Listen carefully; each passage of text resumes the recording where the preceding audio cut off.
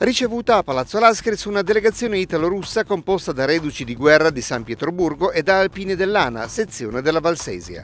Le due associazioni d'arma sono gemellate e la visita degli ex combattenti russi ha contraccambiato l'analoga dell'aprile scorso a San Pietroburgo degli alpini valsesiani quando venne firmato l'accordo di gemellaggio.